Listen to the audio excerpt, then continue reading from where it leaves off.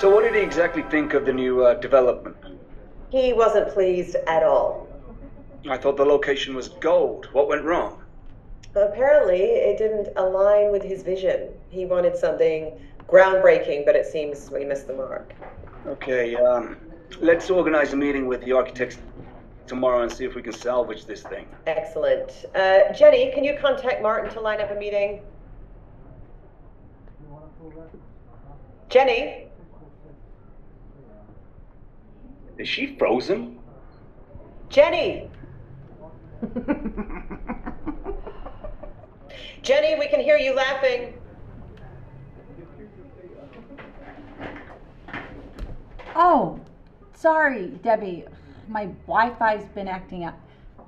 Can you hear me now?